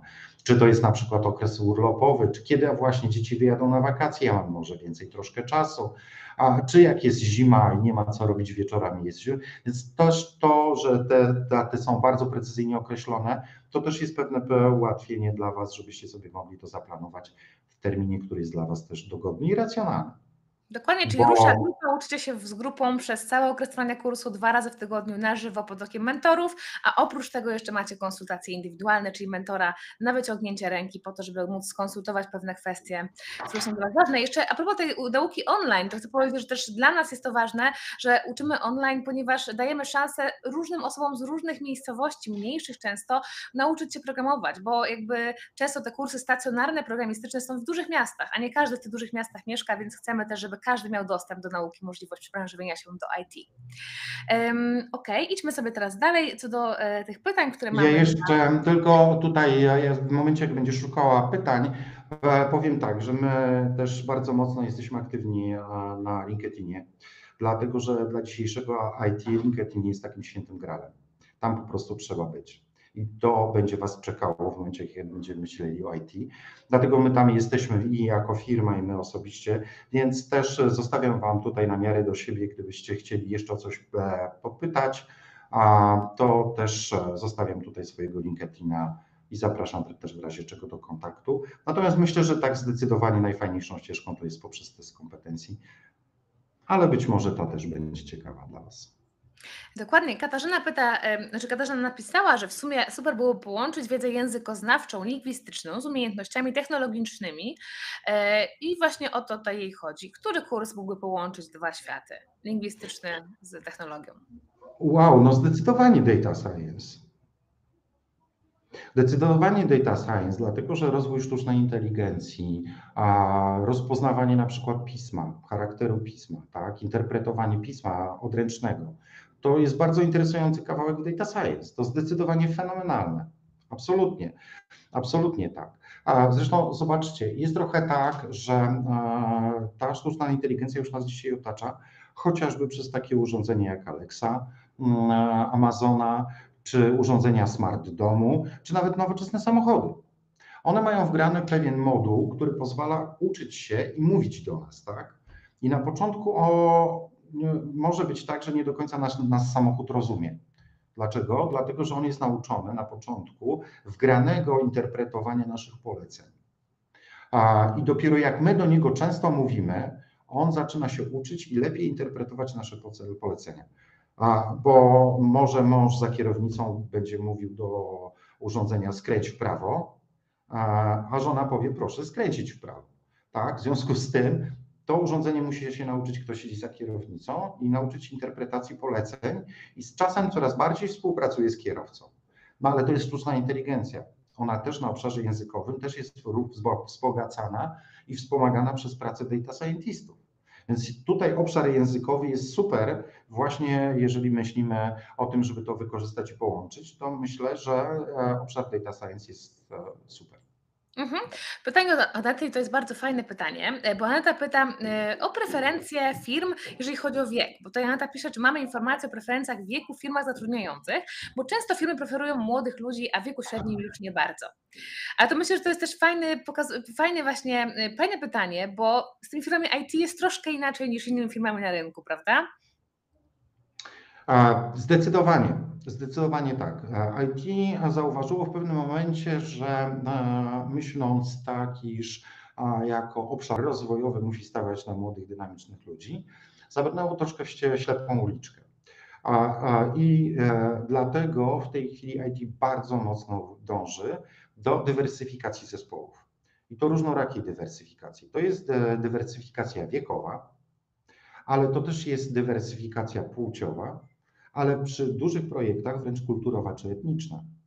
Zwróćcie uwagę, my tworzymy rozwiązania dla różnych grup docelowych. I teraz jak będziemy mieli na pokładzie samych młodych, na przykład programistów, którzy mają zrobić oprogramowanie dla seniorów, emerytów, czy nawet silversów takich jak ja, to mogą nie wiedzieć, jakie są nasze oczekiwania. I mogą zrobić oprogramowanie, które po prostu będzie niedopasowane do naszych oczekiwań. W związku z tym też osoby w pewnym wieku wnoszą też do zespołu trochę inne etos pracy trochę inne podejście do zadań, trochę więcej spokoju, trochę inną kulturę organizacyjną. Tutaj doprecyzujmy, tak? W związku z tym im ten zespół jest bardziej zróżnicowany, tym dla IT lepiej. Dlatego dzisiaj w IT liczy się przede wszystkim to, czy mamy jakieś kompetencje i czy potrafimy je udokumentować, mając coś w portfolio. Jakieś umiejętność, która pozwoli, jakieś umiejętności, które dadzą się zweryfikować, czy spełniamy kryteria i potrzeby, nawet jeżeli jesteśmy juniorem, to czy nasze braki są brakami, które oni są w stanie uzupełnić. Bo mhm. dla IT pamiętajmy zawsze, junior jest inwestycją. Nie tyle tylko, że nas zatrudniają, ale do juniora musi być delegowany mid czy regular albo senior, który będzie pomagał nam się rozwijać. I to dla firmy jest inwestycja, bo to jest inwestycja poświęcona jego, poprzez jego czas pracy, za który my płacimy. Więc e, firmy, które są firmami logicznymi, dojrzałymi, wiedzą, że January jest e, inwestycją. No ale żeby w coś zainwestować, to wiedzieć trzeba w co. A w co, to pokazujemy na podstawie portfolio, a nie na podstawie wieku. Dokładnie. Widzimy też na naszych kursach osoby, które były nawet na emeryturze i rozpoczynały naukę, także wierzcie mi, że ten wiek to jest tutaj tylko liczba i faktycznie, jeżeli macie chęci i chcecie faktycznie do tej branży wejść, macie determinację, bo tutaj też trzeba no, włożyć trochę pracy oczywiście w to, żeby się przebranżowić, no to zapraszamy Was, nieważne w jakim wieku, do tej nauki. Ja Wam tutaj wrzucam też na czat link do, mm, na naszej stronie do takiej zakładki historii absolwentów i też polecam Wam, jeżeli ktoś z Was potrzebuje takiej dawki motywacji, poczytajcie sobie historię naszych absolwentów w przeróżnym wieku, Zresztą wielu tutaj Twoich też klientów, prawda? Tam też są opisane historie Twoich klientów, Marcin, e, którzy sukcesem właśnie w tej chwili w tej branży sobie radzą. Poczytajcie, jeżeli potrzebujecie taką dawkę motywacji. Było pytanie też o ceny na, na czacie, e, ceny kursów. Tutaj macie ten czerwony przycisk sprawdź szczegóły na górze. On Was przeniesie na stronę kursów naszych i przy każdym kursie macie cenę kursu, więc możecie sobie z taką ceną się zapoznać. E, I tutaj też ktoś poruszył kwestię dotacji, więc ja też od razu powiem, że polecam Wam kontakt z doradcami naszymi, ponieważ też możecie ich pytać o opcje dofinansowania finansowania kursów, ponieważ nie zawsze kurs można, trzeba finansować z własnej kieszeni. Więc tutaj nasi doradcy są ekspertami w tej sprawie, oni Wam doradzą, czy na której z tych opcji finansowania się łapiecie, czy możecie z której skorzystać, no i być może mm, będziecie mogli właśnie w ten sposób sobie taki kurs sfinansować. Tak, ja jakby celowo nie poruszałem tego tematu, dlatego że jakby to nie jest ta główny temat naszego dzisiejszego spotkania, bo to, żeby podjąć się wyzwania, a ja wolę mówić przygodę, bo dla mnie to jest przygoda przejścia do IT, to trzeba najpierw wiedzieć i mieć determinację i dobrze się zorientować. W momencie, kiedy będziemy to mieli, warto poszukać ewentualnych środków i my w tym też pomagamy. Tak, tylko to już jest jakby krok kolejny, a i my od tego też jesteśmy, także to, to jest kolejny powód, dla którego warto porozmawiać z naszym doradcą. Mhm. Pytanie od Marty mamy takie. Mm, Marta napisała, że jest niestety mało odporna na stres i presję czasu. Która z tych ścieżek jest najmniej obciążająca pod tym kątem? O. Trudno powiedzieć. No, tak na, na, na, na, na, na, szybko, ale też warto byłoby porozmawiać, na czym ten stres polega, bo stres stresowi nierówny. W związku z tym tutaj też warto porozmawiać, bo może się okazać, że Marta przesadza z tym stresem. I to wcale nie jest tak do końca. Natomiast no, generalnie mógłby to być tester, Chociaż czasami jak przychodzi termin oddania aplikacji do użytkownika, no to też troszkę się robi termin tego stresu może być. Ale generalnie testerzy pracują poprzez rozpisanie przypadków testowych w czasie na ileś tam osób, to robi więcej osób, w związku z tym to jest mniej stresujące. I myślę, że Scrum Master. Mhm. Bo Scrum Master powinien być wyluzowany, powinien być komunikatywny, zarażać zespół, zespół e, e, energią, ale też jak zespół się denerwuje, pokazać im spokojnie, zróbmy to tak, a na pewno się uda. Więc myślę, że, że to, to dla przykładu też Scrum Master byłby dobrym pomysłem. Super. E, pytanie od Karoliny. Czy introwertyk też może być business intelligence specjalistą? Jak sądzisz? Tak. Tak, dlaczego? Dlatego, że dzisiejsze business intelligence w tej chwili już idzie nawet w pewnego rodzaju specjalizację. Ponieważ a, w, oczywiście, jeżeli chcemy być specjalistą do spraw BI, który na przykład robi raporty zewnętrzne dla klientów firmy, po prostu dostarcza i sprzedaje, no to tam będzie trudno. Natomiast w większych organizacjach już pojawia się w tej chwili w tym zawodzie podział na dwie role. Jest business intelligence analityk i business intelligence developer. I teraz analityk będzie tym, który pójdzie do biznesu, porozmawia, ma fajne flow, ma komunikację, wie czego biznes oczekuje, po to, żeby z jednej strony sprawdzić, czego oczekuje ten biznes od raportu, z drugiej strony, jakie ma źródła informacji, które w tym raporcie można zrobić, czyli ta osoba musi być komunikatywna. Ale jest drugi obszar, który jest określany i poszukiwani są specjaliści, których określa się jako BI developer. I BI developer to jest jak to w IT developer, to jest ten, który to fizycznie wykona. Czyli od analityka dostanie już informacje z oczekiwaniami klienta, ze źródłami i fizycznie stworzy ten raport.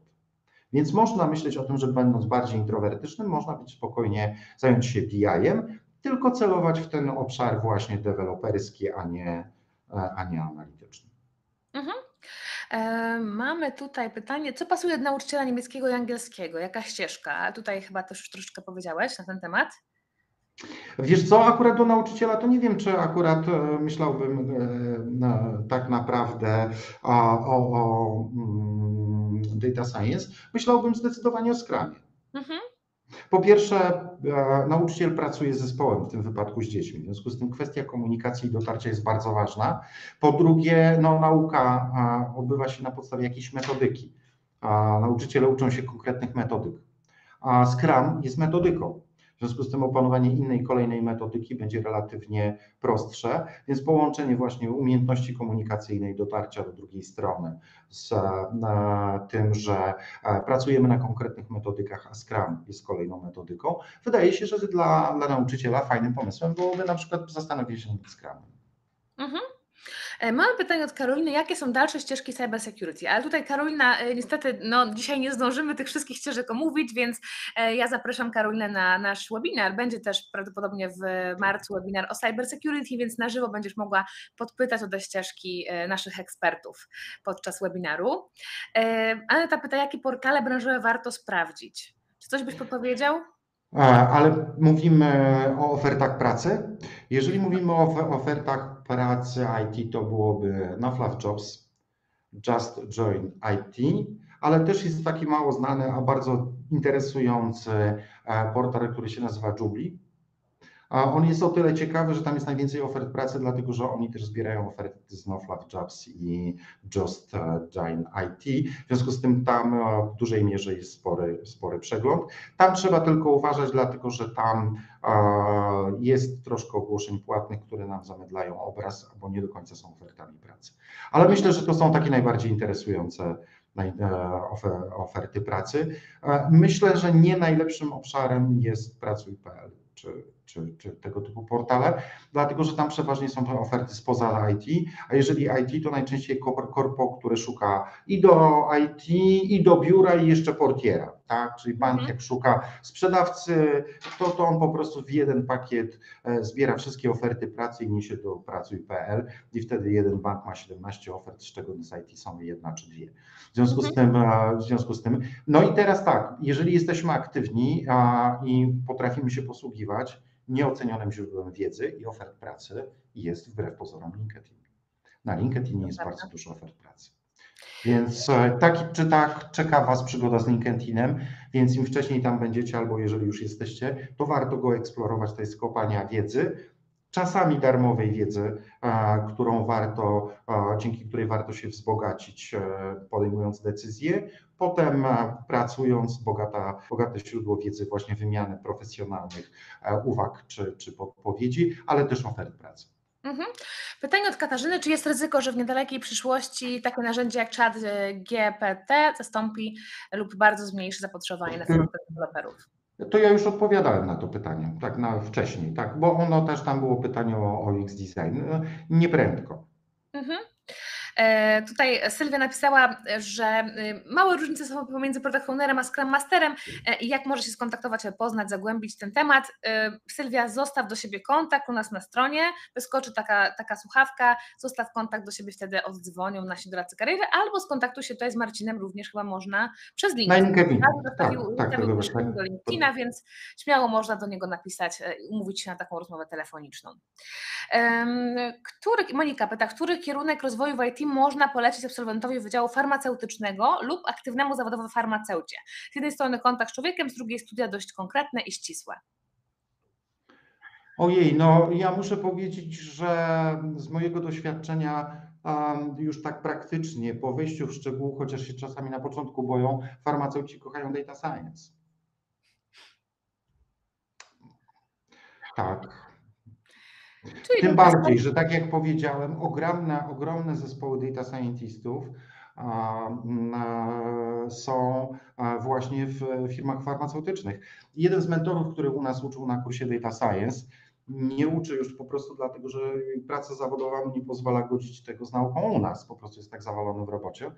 A był, jest cały czas data scientistą w firmie Roche co chyba farmaceutą i w ogóle osobom związanych z branżą chemiczną mówi bardzo wiele, bo to jest chyba pierwsza trójka, jeżeli nie największa w gigant w przemyśle chemiczno-farmaceutycznym, a, więc tam jak najbardziej data science. Mamy pytanie od Łukasza, jakiego typu aplikacjami zajmuje się Python Developer, ale też Łukasza tutaj odeślę na nasz przyszły webinar o Python Developerze. Na tym webinarze będzie dużo szczegółów, będzie można zadać wszystkie pytania odnośnie aplikacji, takich wszelakich tego typu rzeczy, więc tutaj no niestety nam już nie starczy czasu na to, żeby o każdym z tych zawodów tak bardzo dokładnie powiedzieć, więc zapraszam na kolejny webinar. Będzie na pewno w marcu ten webinar nawet chyba dwa webinary dotyczące Python Developera, więc śmiało poprzez naszą stronę, zakładkę wydarzenia można się zapisać. Pytanie od Karoliny, jaka ścieżka dla nietechnicznego introwertyka? Hmm. A dla, nie, dla nietechnicznego e, introwertyka. E, to wszystko zależy od tego, czego oczekujemy, od tego, czym się będziemy potem zajmowali w zawodzie, dlatego że może to być na przykład business intelligence w obszarze deweloperskim, tak? Czyli nie techniczny, a jednak sobie się nauczymy, jak zbudować raporty. Ale też niektóre obszary testów są, mogą być dla introwertyków, tak? Kiedy musimy po prostu sprawdzać pewne rzeczy, e, nie musimy być techniczni, no bo tester nie jest zawodem programistycznym, to może być na przykład e, obszar testerski. E, Super. Pytanie, czy to nagranie będzie udostępnione, żeby można było sobie otworzyć. Będzie udostępnione, otrzymacie e, takie nagranie na maila, ale ró- również będzie dostępne w naszej zakładce wydarzenia e, na naszej stronie www.futurecolors.com. Kasia pyta, czy można prosić o napisanie tej nowej, tej nazwy portalu, tej ostatniej, którą wymieniłeś. To się nazywa Jobly. J czacie? O L. Ojejku, ja nie pamiętam.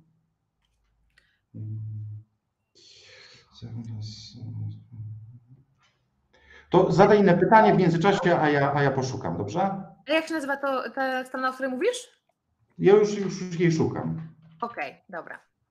Słuchajcie, bo tutaj już pytań na czacie nie ma, więc napiszemy tylko tą, tą, ten portal. Natomiast ja Was serdecznie zapraszam do kontaktu z doradcami, tak jak powiedziałam wcześniej. Porozmawiajcie, to jest bezpłatna konsultacja. Jeżeli oczywiście myślicie o branży IT, porozmawiajcie. Być może tutaj jeden z naszych doradców lub doradczyń nakieruje Was na tą konkretną ścieżkę, którą chcielibyście już dalej iść w IT. Jeżeli chodzi o nasze kursy, wszystkie nasze kursy kończą się certyfikatami, także otrzymujecie takie potwierdzenie również umiejętności, które na kursie zdobędziecie, ale przede wszystkim nasze kursy nastawione są na praktykę, więc uczycie się praktyki tego, w czym się w przyszłości będziecie zajmowali. Więc uczą Was osoby, które e, pracują na przykład na kursie, kursie frontendowym, uczy osoba, która pracuje jako frontend developer. Na kursie Java e, jest mentor, który jest Java developerem, czyli osoby, które uczą Was najlepszych praktyk w programowaniu i uczą Was praktyki tego, jak później będzie wyglądała Wasza praca. Pracujecie przy konkretnych projektach, tworzycie swoje portfolio. To też jest bardzo ważna informacja, bo no, to portfolio na samym etapie, kiedy szukacie pierwszej pracy w IT jest bardzo ważne, żeby nie powiedzieć najważniejsze, więc to portfolio właśnie możecie sobie stworzyć podczas kursu. To, co powiedziałam na początku, jeszcze w ramach kursów macie kurs języka angielskiego w IT, czyli słownictwo technologiczne również przyswajacie w ramach kursu, co też jest ważne, bo ten język angielski w IT no, jest językiem IT. Tutaj ten IT się w tym języku angielskim porusza. No i oczywiście macie również wsparcie w rekrutacji od nas, czyli nie zostajecie już sami po kursie, tylko macie warsztaty tworzenia CV, tworzenia profilu na LinkedInie, o którym tutaj Marcin wspominał, że jest bardzo ważne, oraz macie warsztaty również szukania pracy, więc uczymy Was tego, jak obecnie szukać pracy w IT, jak zrobić, żeby ten proces był jak najbardziej efektywny i najszybszy, bo to jest naszym celem, żeby nasi absolwenci dostali pracę po kursie, żeby oni mogli faktycznie w tą branżę pójść, no i rozwijać się w tym kierunku, bo to jest takim naszym celem, naszą misją naszej firmy dokładnie. E, Marcin, bardzo Ci serdecznie dziękuję, że dzisiaj z nami ja byłeś. Dziękuję. Zawsze było mi miło z Tobą porozmawiać i wiedziałam tutaj, że na pewno nam się troszeczkę przedłuży, bo, bo tych pytań trochę może być, no i też z Tobą też bardzo fajnie mi się rozmawiało. Dziękujemy oczywiście Wam e, za to też, że byliście z nami do końca, bo trochę się przedłużyło, więc też, że cierpliwie poczekaliście. E, za super pytania również Wam bardzo serdecznie dziękujemy. No i co, mam nadzieję, że się widzimy chociaż częścią z Was na naszych kursach. E, a może Marcin też się z częścią z Was będzie słyszał. Także tego też Wam życzę, żebyście e, mogli taką decyzję podjąć. Pozdrawiamy serdecznie i życzymy oczywiście miłego wieczoru. I miłego wieczoru. Miłego.